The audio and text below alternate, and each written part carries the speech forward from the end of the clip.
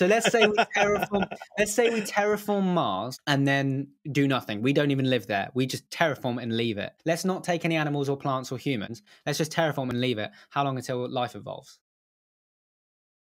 by itself? You know what? Maybe not with the first planet that we terraform because we want to spread out and so we can actually live on other planets. But oh my God, if we don't figure out the origins of life by the time that we're terraforming other planets, that is such a good idea. We don't know what that point was. We can't observe that point. We estimate that it's something like 3.5 billion years ago the earth has been around for an estimated 4.5 billion years mm. and it's like we can know an awful lot about early life but we can't know what just that, that crucial moment that it poofed into existence. And if you could study a planet, that would be an awesome experiment. What's to say that that's not what we are? This is what I was going to say. Imagine that's how we came about.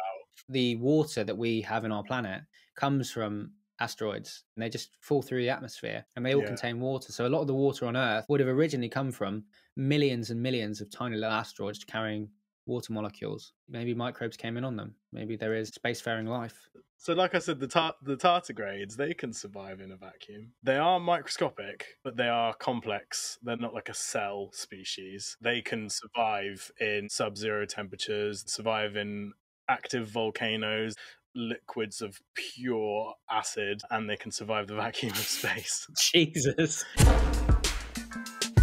Thanks for watching Dough Probe, guys. If you want to check out any more amazing, stupid, and completely incoherent content, then don't forget to like, subscribe down below, and we'll see you next time.